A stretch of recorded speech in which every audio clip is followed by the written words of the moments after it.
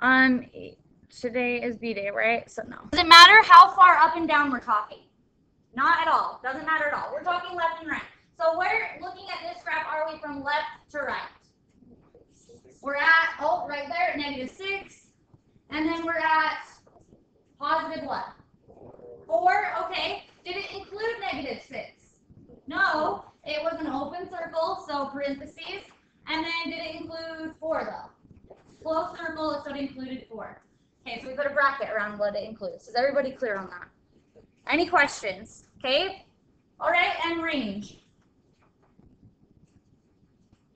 Range. Range is y values. So how far up and down we're looking. How far up and down. It doesn't matter how far left and right. Where are we on the bottom? The up to down, down to up. We're at negative 4. You're awesome. Good. And then we're going up to positive 2. Did it include negative 4? Yes, closed circle. So we need to put a bracket. And then did it include positive 2? No, so we put a parenthesis. How many of you got it right? How many of you got it pretty much right? A little mistake here and there. How many of you learned what you did wrong? Just watching that. Awesome. That's why we're here is to learn when we make mistakes. So that's great. Good job, guys. Um, so if you tried for the most part on this and you got it pretty much right, you'll get pretty much full points, okay? Um, so let's continue. Okay, so today we're learning something that is really hard for a lot of kids. And you should have learned it in secondary too. We should have learned it in secondary too, but it's a hard concept, okay? It's factoring. How many of you remember factoring? A quadratic equation. How many of you briefly remember, okay, I learned that. I don't remember how to do it necessarily you sat in front of me right now. How many of you remember learning it? Raise your hand. Okay, so you're going to have to pay close attention. There's a lot today to factoring, okay? You're going to have to take detailed notes, but we have to work fast so we can get to a lot of examples. I'm not kidding. I'm really good at teaching factoring. I'm awesome at teaching factoring because I give you step-by-step -step instructions on how to factor. But there's a lot of instructions and a lot of things to consider. So you have to pay close attention today and close attention to the little details. The little details matter. So you have to take jujitsu notes tonight, like so quick, because we've got to get through this and get to the example. But these steps I give you will help you factor. You will know how to factor when you leave my class. I can promise you that. If you follow these steps and you pay close attention. All right, let's go through this. Okay, so what, first of all, before we start factoring, I'm just going to ask you a question. What makes this right here, this function I have up here, 2x squared plus 5x plus 3 is equal to 0, what makes it quadratic? X squared. Good. So we look at the highest degree, and that's how we know. So it's x squared. So remember how we were solving linear functions yesterday? Were we solving linear functions? It's because it was degree 1, right? Today we're going to be solving quadratic functions, meaning degree 2. Now, these are parabolas. So I, this is just a little aside. If we had an XY chart, we had an XY chart, we would have a parabola that looked something like this. Now notice, when we solve, when we solve these, we're going to get how many answers? Does anyone know? Two. And we can always know that for sure because we look at the highest degree. So if we look at this, we know the highest degree is 2. We are going to have two solutions. Now with linear, it was degree 1. How many solutions did we get? one, so it makes sense. Now, what we're getting here, guys, just so you know what you're finding, is we're finding where it crosses the x-axis. Now, notice it's crossing right there and right there, for example. Those are going to be what we find by some method. So we're finding where it crosses the x-axis. Those are the solutions we're finding. So some of you are like, I, don't, I know how to factor. I didn't know what it was for or what we were doing. Well, now you know. You're finding where it crosses the x-axis.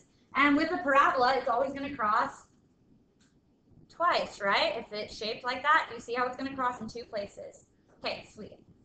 There are times when it can cross at one, but you'll get the answer twice. Like, for example, if something like that, it only would touch down right there, but you'll get the answer twice when you go through and simplify this. Okay, so just keep that in mind. Once again, the fundamental theorem of algebra says, that's a big fancy word for something not so big and fancy. The highest degree is the number of solutions you'll get. So we better get two solutions. Okay, let's go ahead and start. Okay, so quadratics have this form, ax squared plus bx plus c, and we have to make sure it's set equal to 0. So if we're trying to solve a quadratic and it's not set equal to 0, we've got to get it set equal to 0. Once again, quadratics have the form ax squared plus bx plus c, and we're going to make sure it's set equal to 0. Is everybody okay with that?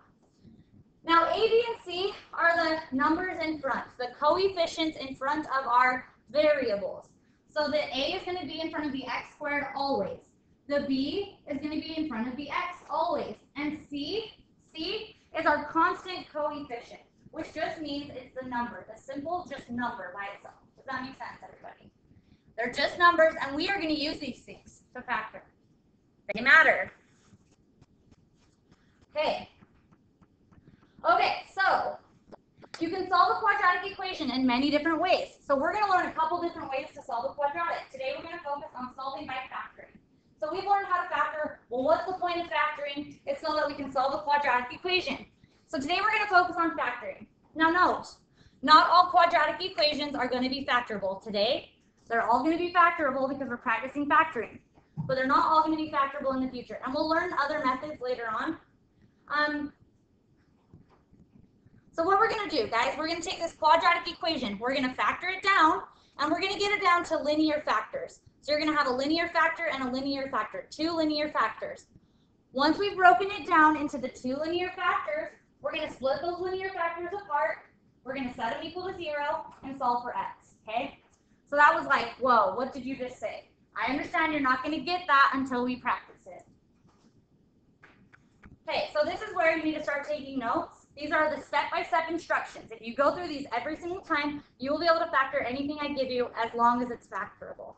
So this is where you have to write really quick because I can't spend tons of time. I wish I would have typed them up for you, but you need to have them for today. So try to write quick. If you need a shorthand, that's fine. But you need these steps.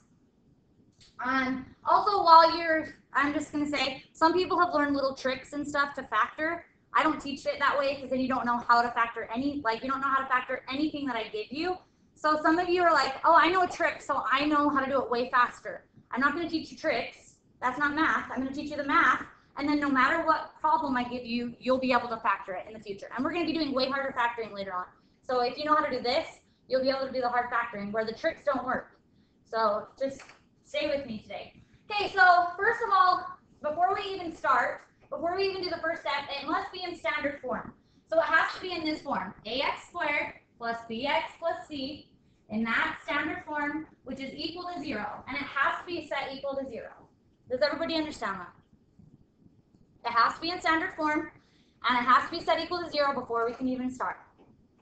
Then our first step, we're going to check to see from the very beginning, is there anything in common to start with if so, we can pull it out. So is there anything that all three terms have, three terms have in common that we can pull out from the beginning? If so, we're going to pull it out. Now you're going to ask yourselves, once you pull that out, am I down to linear factors? Now you'll know what linear factors are when I show you in just a second. But am I down to linear factors? If the answer is yes, you'll set your linear factors equal to zero and solve. And if no, you'll move on to step two. So if yes, you'll set your linear factors equal to zero and you'll solve for x. If not, if you're not down to the linear factors, you'll move on to step two. Now I understand. Right now, you have no idea how these steps are working. I promise when we do some examples, you will. These steps are important, but I'm giving you the steps first. Okay? So don't be like, I didn't understand any of that, so I'm just to zone out. When we start practicing them, you will. Mm, are we okay? Do I need to give you another second to keep writing? Okay, couple more seconds. So just kind of try to shorthand, but get as much information as possible.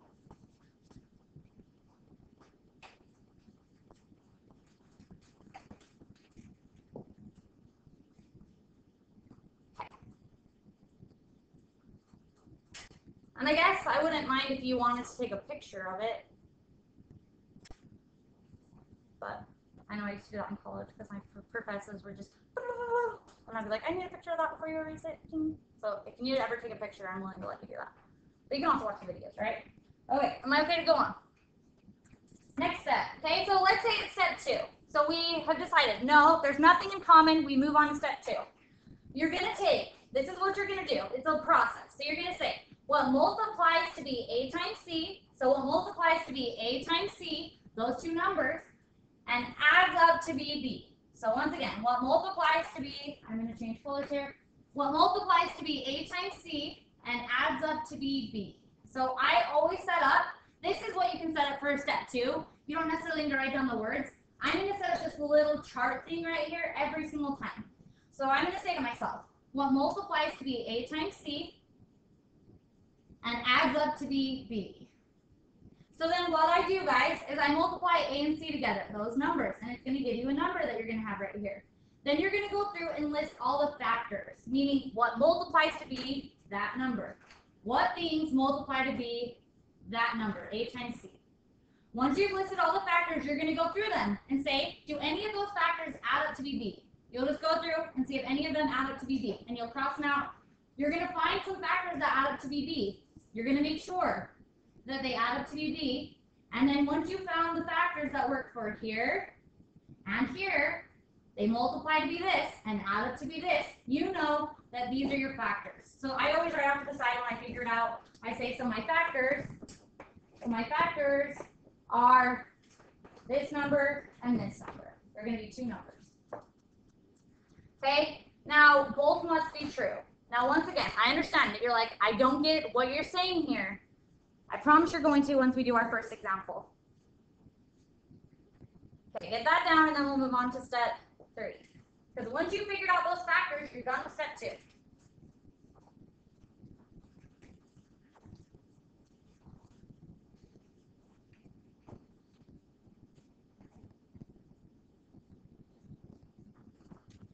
Here's the third step. Once you found the factors, you're going to do the third step. I call the third step drop and break. I call the third step drop and break. And that's just a little thing I made up to help my students remember to do something, to drop and break. So what we're going to do for drop and break, this is important. What we're going to do for drop and break, we're going to drop down the front term, the front term, ax squared. We're going to drop down the last term, including the sign that goes with it. So we're going to drop the front term, we're going to drop the last term. Drop and break. And then we're breaking down the middle term here. This is the middle term, and we're going to break it down. Now we're breaking it down into the two factors that we just found in step two. What are we breaking it down into? The two factors that we found in step two. Drop and break. Okay, that's step three, drop and break. Now, there's a little bit to drop and break. After you drop and break, after you drop and break, still in step three, I'm to still consider it safe. step three, we have to group. I'm not to, I don't, didn't write that down because we'll see how it works. We're to group the first two terms. We're to group the second two terms. And then we're to factor again. We're to pull out what we can from each group. And then there's a safe haven. So you can check to know if you did it right. And I'm going to teach you this. I understand this doesn't make sense right now, but if you have the steps written down, it's going to help you. So you're going to check the safe haven. Once you've done this step and you've done the few things, you can check. I know I did this right, which is nice because you don't want to get all the way to the end and get it wrong. So you can check and say, I am safe, and I'll teach you how you know. Okay, so you're going to check your safe haven. Once you know you're safe, you can pull the safe haven out, and your that's your final factor. I understand this isn't making sense right now, but I want you to write down the steps, and I promise it will once we start doing it. Okay, so final factor will be to pull out the safe haven, and then we're all we're there, there, there, we're there. All we have to do is set it equal to zero and solve for x. Okay, so is everybody still writing? A few people still writing here. I'll take you another second. Sorry. Okay. Anyways. Okay, so now we're looking at these two things. So the video missed it, but we'll have another example. So looking at these two things here, is that a linear, is that linear, this piece? What's the degree on it? One, so it's linear. What's the degree on x minus two? One, so it's linear. We're down to our linear factors. So all we have to do, guys, is set each of those equal to zero and solve for x.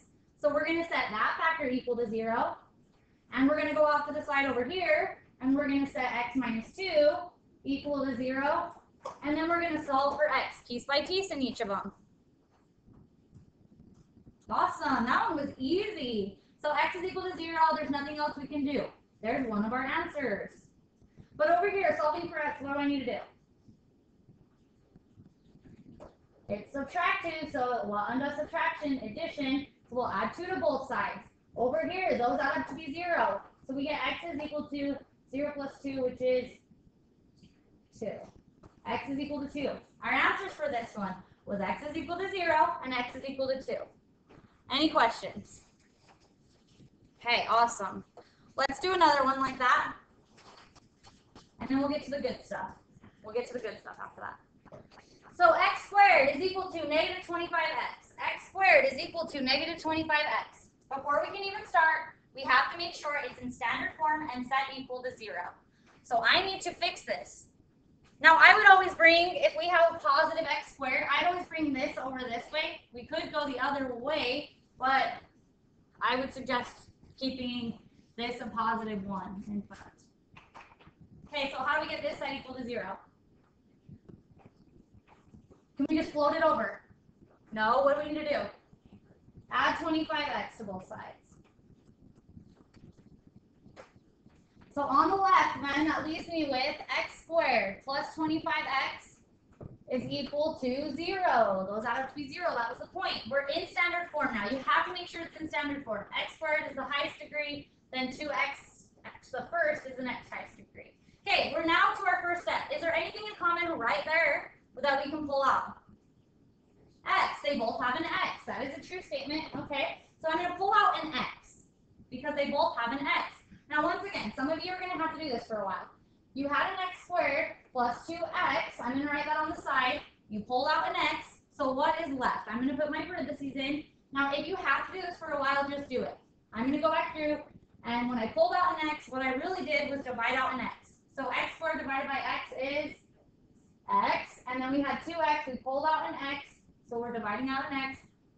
So what's left when you do 2x divided by x? Oh, that was 25, wasn't it? Okay, let's add the 5 in there. Not a huge fix. Okay, so 25x divided by x. Plus 25. So left inside was that. x plus 25. Are we down to our linear factors? Yes. Okay, so now we'll set our linear factors each equal to 0 and solve for x. So we have x is equal to 0, from there. And then we also have x plus 25 is equal to 0. So now solving for x piece by piece, what am I going to do?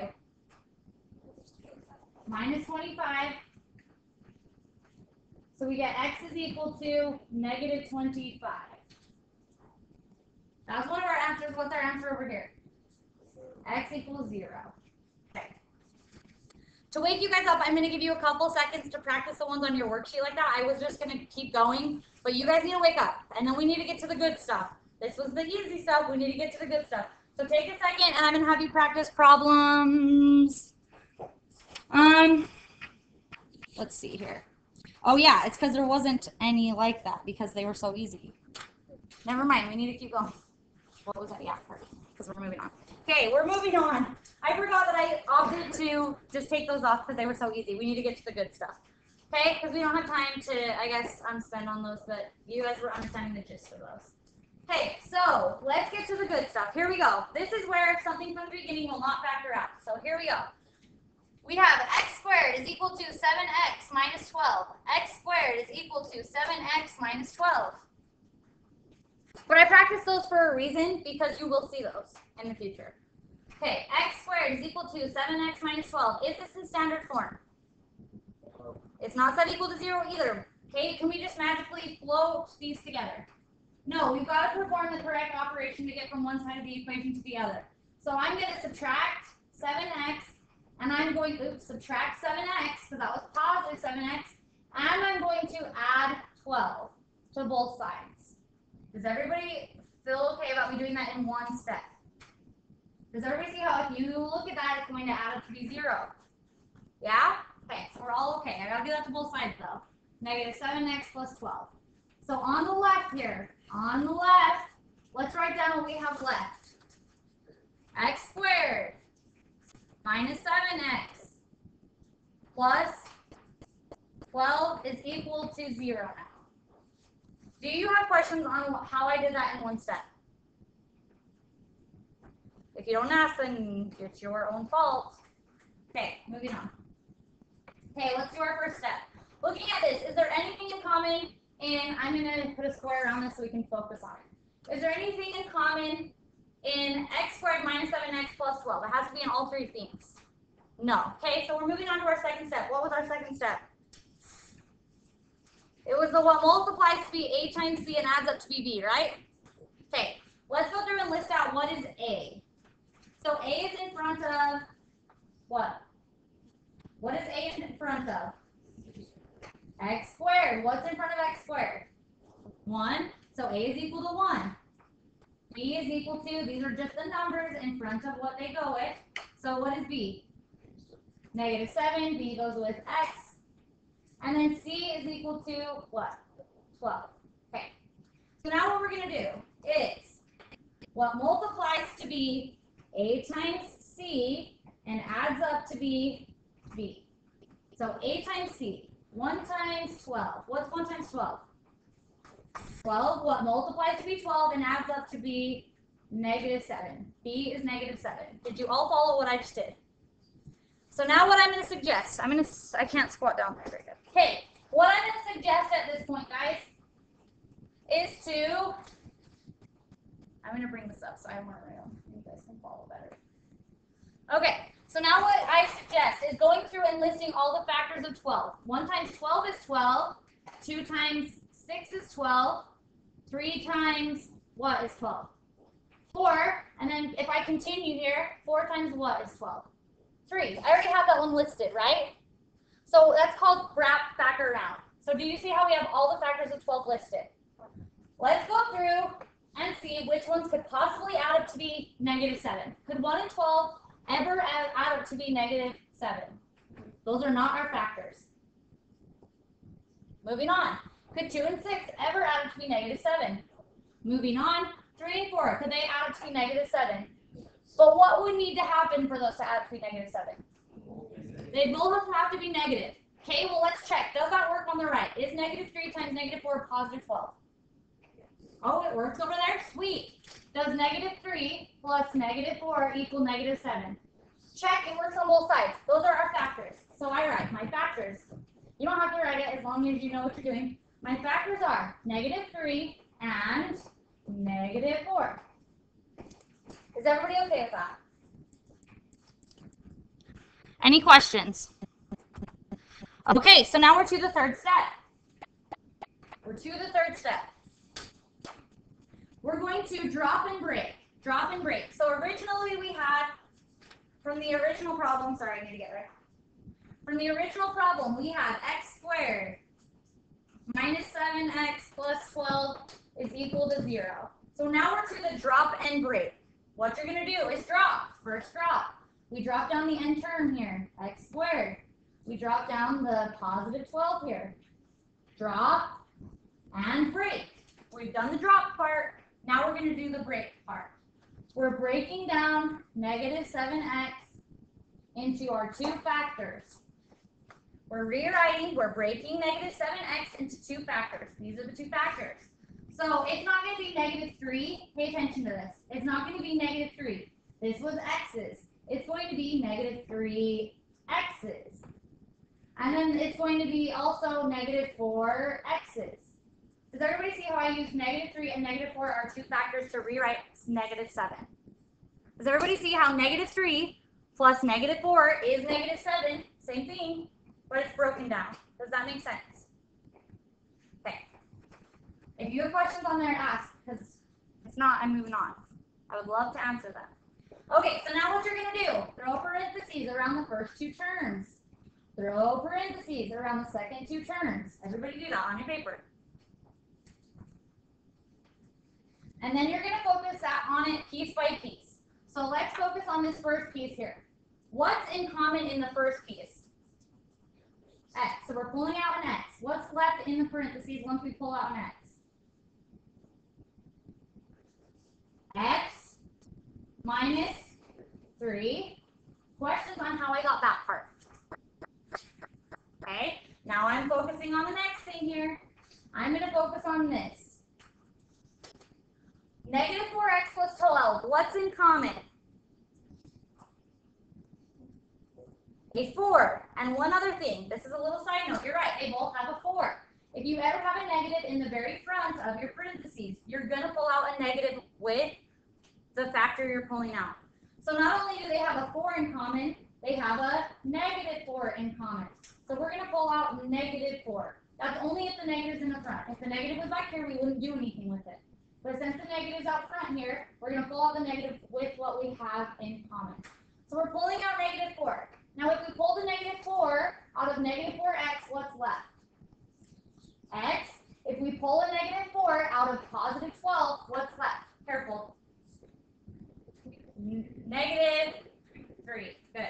Or just do 12 divided by negative 4, which is negative 3. Now, right there, does everybody see how I have x minus 3 and x minus 3 in common? That's our safe haven. We've done this right. If you get something different, you've done something wrong. Safe haven.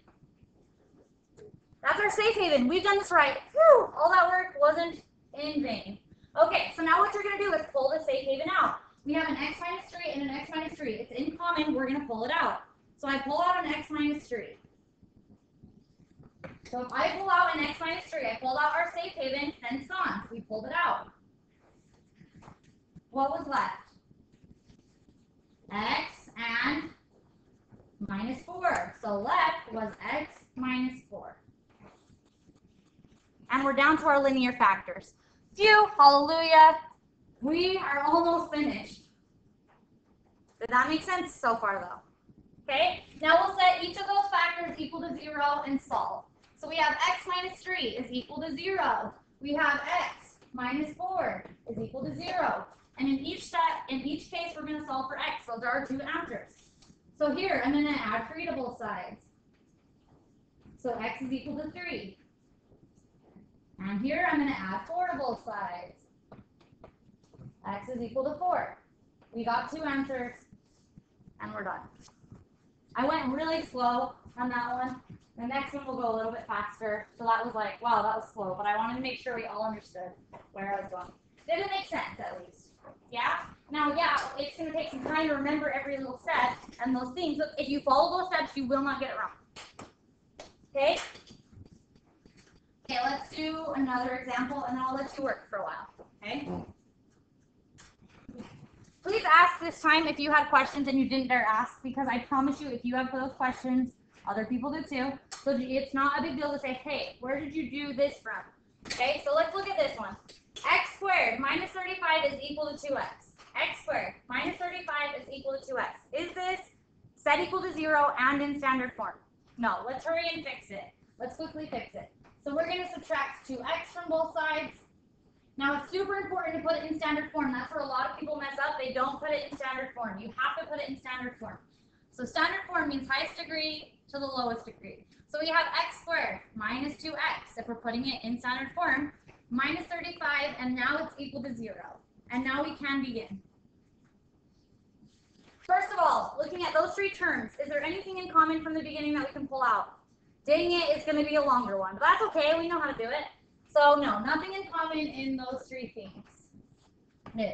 So we'll move on to step two. Step two is what multiplies to be A times C and adds up to be B. I always make my little chart. What is A? What's A, guys? 1.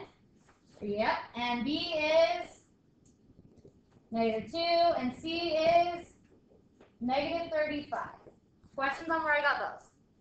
So uh, what multiplies to be A times C, which is 1 times negative 35, and adds up to be B, negative 2. So once again, I would suggest listing all the factors. Some Once you get good at this, you'll be able to just see the factors. But for now, let's list them. 1 times 35. Now, if you didn't know the factors, you could take 35, divide it by 2. If it divides evenly, you'll put it down, right? So 35 divided by 2, do we get a whole number? You should have your calculators ready to go. 35 divided by 2. You don't get a whole number, so it's not a factor. 35 divided by 3. Is it a factor? Is 3? No. Moving on. 35 divided by 4. Nope, it's a decimal. 35 divided by 5. Okay? 5 times what? 7, and then 6. 35 divided by 6. No, and 7. 35 divided by 7. 5. We already listed that, right? Okay. Let's go ahead and see which ones add up to be negative 2. 1 and 35, that'll never add up to be negative 2. Because 5 and 7 add up to be negative 2. But which one would my, would my negative need to be with? Negative 7. Let's check to make sure. Does negative 7 times by 5 equal negative 35? Okay, and then once again, 5 plus negative 7 truly does equal negative 2. It works in both cases. I promise there will be some that work over here that don't work over here. So, you gotta, you gotta be careful.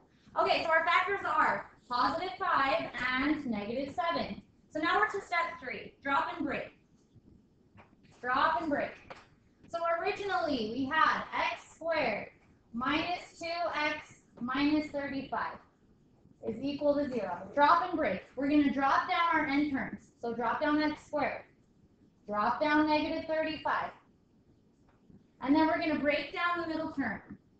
I need to see further down. Where did my page extend go?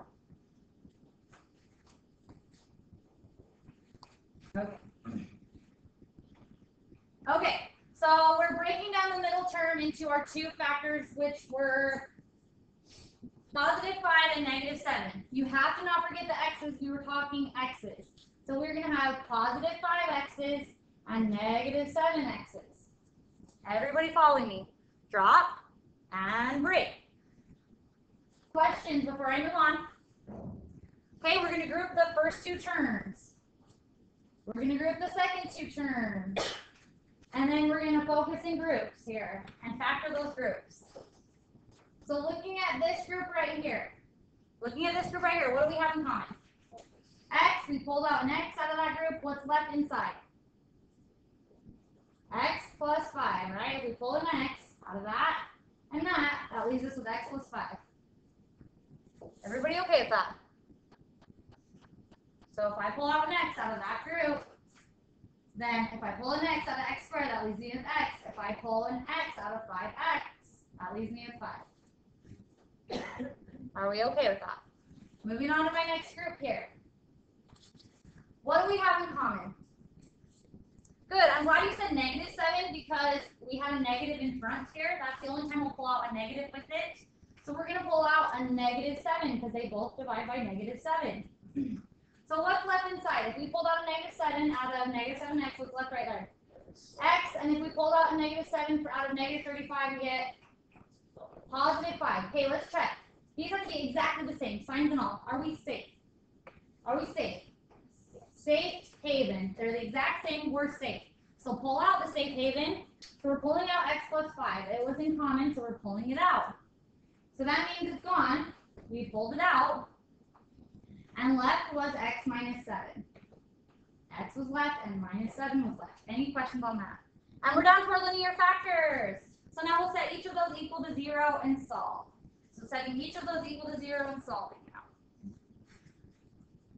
So we have x plus 5 is equal to 0. x minus 7 is equal to 0. And in each case, solve for x. So I'm going to subtract 5 from both sides. So x is equal to negative 5. And I'm going to add 7 to both sides. Add 7. So we get x is equal to positive 7. Okay. Do you need another example or do you feel like, yeah, I have the steps, I'm getting it, I want to try it by myself? So raise your hands if you need another, or if you want to try it by yourself. How about? Raise your hands if you want to try it by yourself right now. Okay. Quite a few. Okay, let's give her a try, and then I can always bring you back to me and do some more in just a second. So I'm going to have you give her a try. And then I'll bring you back to me in a second and we'll do a couple, we'll do another example or two. So I would start with problems because I didn't do an example like problems one through five. I would start with problem number six, seven, eight, nine, and 10. And we'll, I'll pull you back to me in just a second. I want to give you the opportunity though to practice. So you can do problems six through 12 and then I'll bring you back to me in just a second, okay? Let's get going. Here we go. So looking at this one, x squared plus 4x plus 3. You need to pay attention to the little details. Some of you couldn't even really start. So we need to watch really carefully and be paying close attention and asking questions if you don't understand. So first of all, this one's already in standard form. Am I correct? Okay, so let's just begin. Is there anything in common from the beginning that we can pull out? No. Does everybody see how no? Okay, so now we're doing what multiplies to be A times C and adds up to be B. Now once again, A, B, and C are the numbers, the numbers in front of these things here. So the constants, the numbers in front of x squared, x, and this over here. So what is a? If you don't know, then you're not saying it, and I'm not going to move on. What is a? 1. It's in front of x squared. a is always in front of x squared. Guys, quadratics have the form ax squared plus bx plus c. So a is 1, b is what? 4, and c is what? 3. So now we're doing what multiplies to be a times c, what multiplies to be a times c, and adds up to be b, and adds up to be 4. Questions? Please ask. Okay, let's list out the factors. 1 times 3. Those are the only two factors that multiply to be 3. Is that correct? Okay, we need it to add up to be 4. What's my sign on both of those? Positive, so we have a positive 1 and a positive 3. That works over there. Positive 1 plus 3 doesn't work over here. Is 1 plus 3 truly 4? So our factors are 1, comma, and 3. Our factors are 1 and 3 that we're going to use. So now we're going to go to step 3. Step 3, which is drop and break. So step 3 is drop and break. So we're going to write down, I'm going to write down the original problem real quick. x squared plus 4x plus 3. We're going to drop is equal to 0. We're going to drop the end terms down. So that is x squared plus, oh, so sorry, x squared. We drop that end term down, and we're dropping down positive 3. Then we're breaking down our middle term here. Oh, that's a 4x too. I'm rushing. So 4x. So we're breaking down our middle term here. We're rewriting that middle term as these two things. That's a 1x, that's a 3x. So we're putting it in here. So plus 1x and plus 3x. Do you have a question? Yes. Such a great question. I'm so glad you asked. It does not matter the order you put it, the breakdown part, the breaking part, we could have actually put 3x and then plus 1x.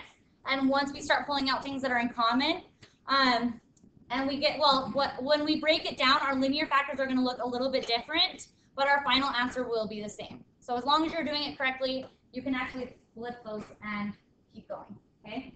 Good question, such a good question. Okay, at this point, we throw in our parentheses around the first two terms. We throw in parentheses around the second two terms. So looking at this first group, what do we have in common? An x squared plus 1x.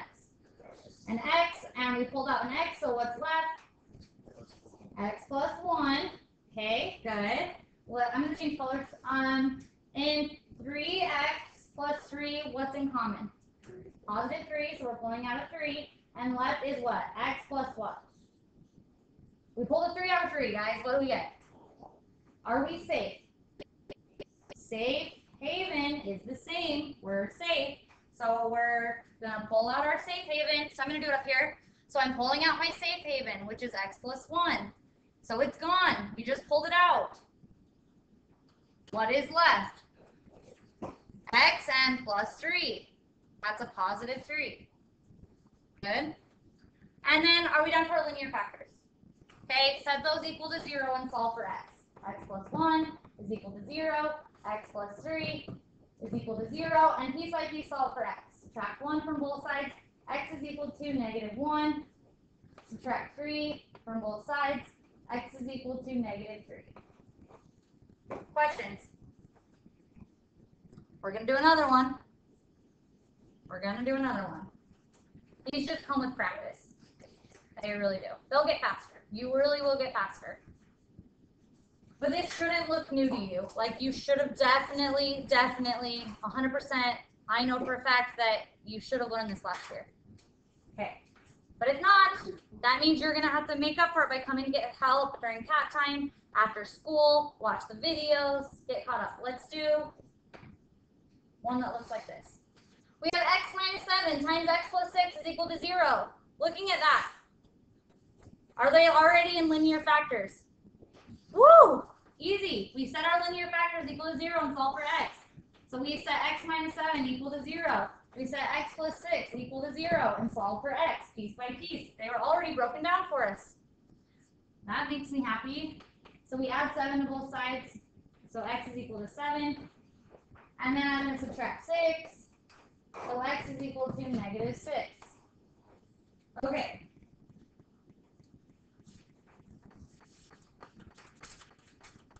Okay, I'm to let you practice that, and because there is no way in heck that we're to get to that second part. So you guys need to start practicing that. So these the problems that you have to finish are problems 1 through 12. 1 through 12. You have to have those finished by tomorrow. 1 through 12. If you can do more, by all means. By all means. If you can do more, by all means. You should really technically be able to do all of this.